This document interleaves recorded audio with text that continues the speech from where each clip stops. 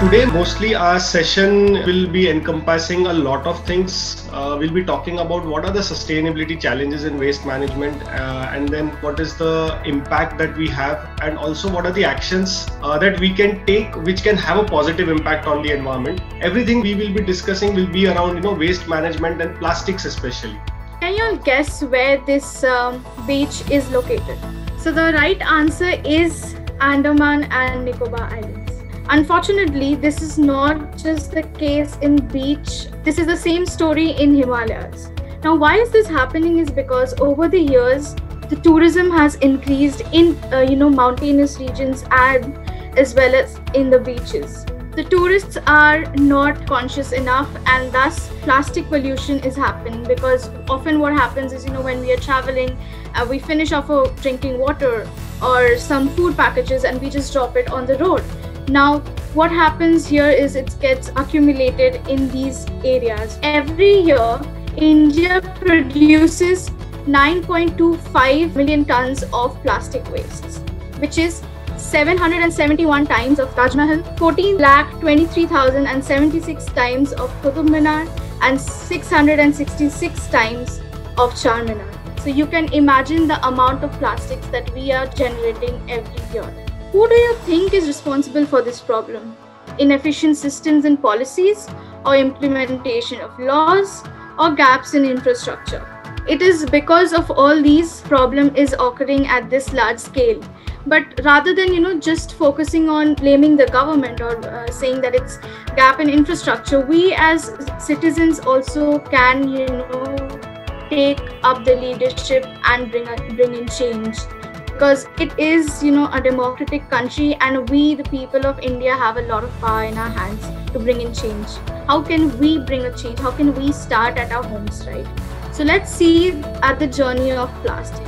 What happened and in our homes what we do is you know whatever the types of waste that we have the dry waste basically the kitchen waste or the uh, plastic waste that we have we just throw it off you know in the garbage um, just like that without thinking now that is collected by the municipal corporation. Now since it is not segregated, the plastic has lost its value or the waste that could have been recycled has completely lost its value.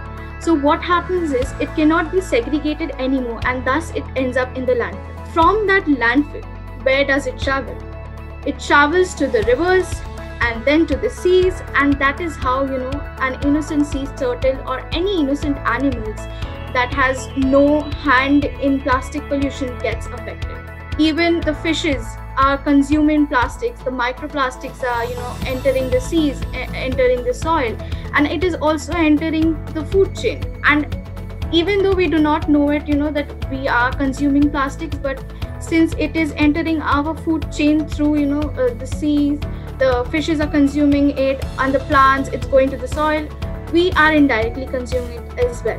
You must have seen the vehicle collecting the plastic. When all of this plastic has a lot of value it is segregated. But if you don't segregate that plastic, now most of the plastic has no value at all. All the plastic that reaches marine life, it is all because of the neglected plastic and you know not taking the whole waste management part seriously, which we have to take care of our you know plastic disposal habits and then slowly work on the reducing part because we are you know dumping all the plastics together in one bin and as a result just shown in the previous slide what is the journey of the plastic? It ends up in the you know seas and just lands where other animals are consuming. So what can i do about it? So this is where sustainability comes into play. It's refused reduce reuse repurpose and recycle. Firstly refuse. Refuse using you know single uh, single use plastics like the plastic bags right? The sustainability part over here is reuse repurpose and recycle. How much plastic we use is also one of the biggest questions which is being asked when uh, india pledged to you know do away with uh, single use plastics by 2024 the government has planned to you know eliminate all single use plastics by 2024 so that's a huge task but do you think it's the task will be done just by the government by banning all types of plastic? No it's it's not that way. Because once you start refusing or once you start you know reducing the use of plastic overall that will slowly you know slowly change and that's how you will be contributing towards sustainability. But what happens is there are a lot of stakeholders involved. Let's say the government has its job. They look at from policy level. The companies uh, look at the efficiency of a product then they look at the shelf life of the product. So they have their task to do. But what we have is a very simple task. We just have to segregate the waste and maybe we should try to avoid using plastics wherever it is not you know required. So when we are going out, there are few things which is always necessary. First is keys, wallets, and mobile bags. Now, what is the other thing that we can, you know, make a necessity is carrying a bag. By taking a small bag with yourself or carrying a small bag with yourself can make a huge difference. Because change starts at home. We cannot rule out the use of plastic from our lives, but what we have to slowly do is we have to make sure that whatever plastic we use we have to dispose it and we have to know about it first of all that you know uh, so this is plastic and this has to be kept separately and this has to be given separately. So that is the first exercise that we can start with when you want to eventually contribute towards uh, you know sustainability. So you can start knowing about where where do you use your plastics basically? You know which time of the day or in which tasks of the day do you use plastic and then you discard the plastic? Sustainability is nothing more than just being sensible enough.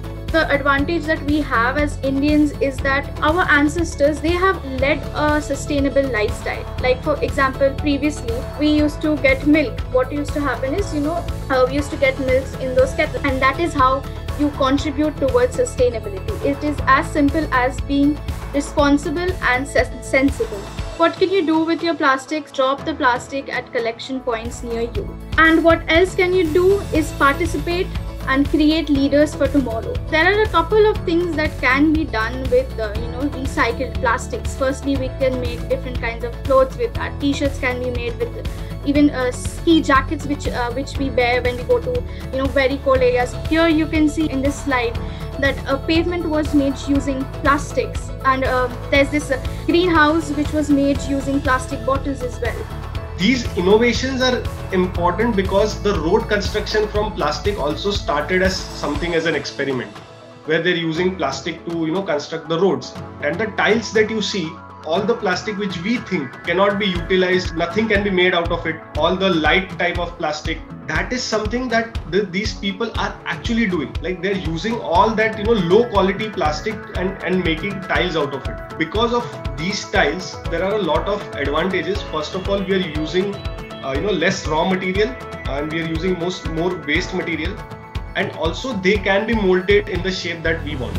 So that's that's something which is very beautiful actually the good news is that we are taking care of Andamans. We saw the picture in our first slide that you know it the beach was all dirty with plastic waste, plastic bottles thrown in there. But we Recykal had uh, taken the initiative and we are making sure that the Andamans are kept clean.